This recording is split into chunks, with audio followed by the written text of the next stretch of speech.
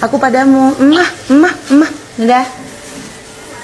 Setelah menikah dengan Arya Khan, otomatis Pinkan juga menjadi ibu sambung dari anak Arya yang masih kecil. Beredar video TikTok ketika dengan sabarnya Pinkan Mambo menyuapi anak Arya dengan tangannya. Pinkan pun kemudian menelpon Arya dan memanggilnya dengan sebutan Daddy serta sayang. Nah, nah, nah. Lagi, lagi, sudah lagi. Lagi. Ya ini nih, nih ikan enak-enak.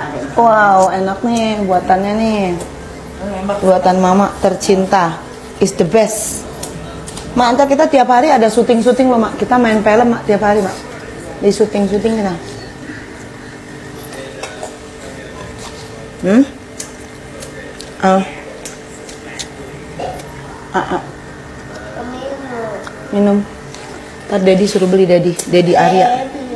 Dedi Arya suruh beli. Dedi Arya enggak tuh?